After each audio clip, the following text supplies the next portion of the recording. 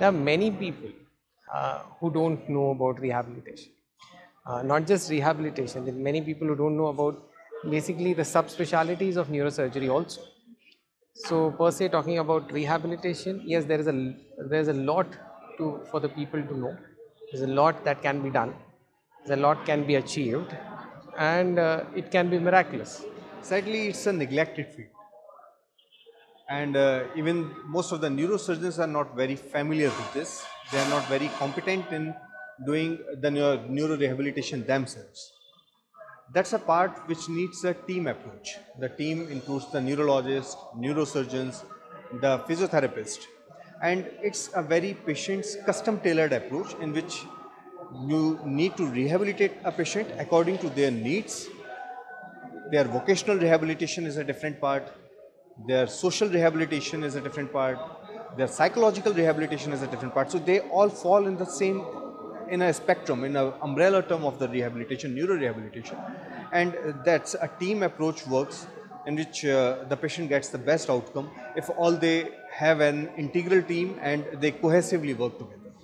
I can say both. Uh, there is a lack of awareness and uh, patients uh, may want to go home directly rather than go for physiotherapy because they have to spend one month time in the physiotherapy, one to two months time in the physiotherapy unit to make a significant improvement.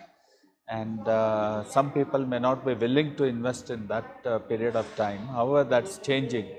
Once uh, people see how difficult uh, it is for patients to improve just being just at home, in fact, they may deteriorate because of contractions or infections or bed sores or urinary infections because they are not fully mobile and they are prone for complications like this. So, what I am seeing now is patients are more ready to go into rehab, get better and then go home. Neuro rehab is uh, definitely many people are not aware. Not only the non-medical, even medical people not aware about the availability and the right center to have the neuro rehab definitely it needs lot of awareness and selection of the right center and right therapist which is very important neuro rehab definitely it needs a lot of awareness there are a lot of patients which remain with the deficits Yes, one thing is they always think that it's just physiotherapy.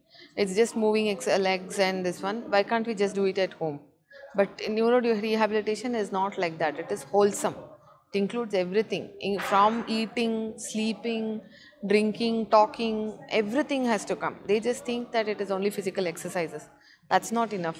And most of the times, they what would have happened is rehabilitation is required for somebody who's undergone an emergency surgery, and they would have already shelled down a lot of money.